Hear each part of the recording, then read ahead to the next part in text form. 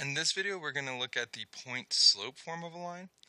And the point slope form of a line is our y minus y1 equals m times the quantity open parentheses x minus x1 close our parentheses.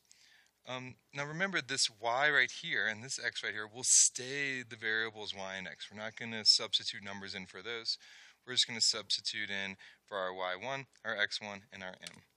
So we're looking at our point, negative 3, 4, and there negative 3 is my x1, and the y1 will be the 4. So now we just plug and play. So I can go y minus 4 is equal to 3 halves times x minus, x minus, and my x1 is a negative 3.